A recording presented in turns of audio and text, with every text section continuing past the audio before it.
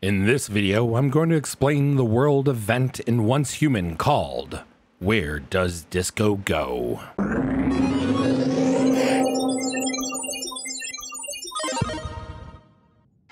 This is an event in the beginner area of the game. A giant disco ball appears and wants to throw a dance party.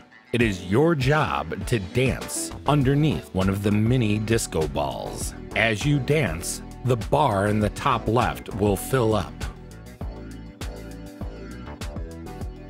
You will need to dance at one of three locations.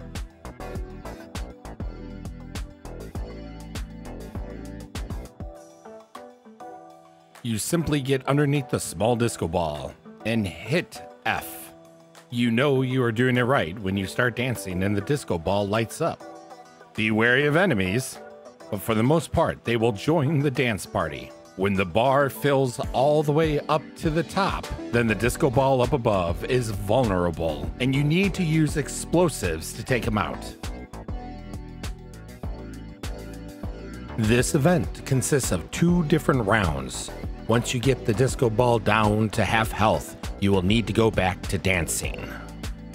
Here we are for round two. This platform is the best one for the event because ground enemies will virtually be unable to attack you while you're on it. This event does have an optional task. It will either require one additional or two additional people to dance with you on the platforms. This event does provide its own explosives.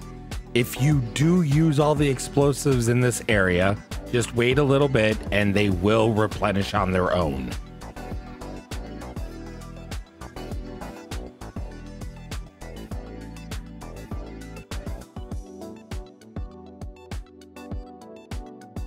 And that is how you complete Where Does Disco Go? Like and subscribe to be notified of all future content. And adventures, I will see you in the next episode. Bye bye.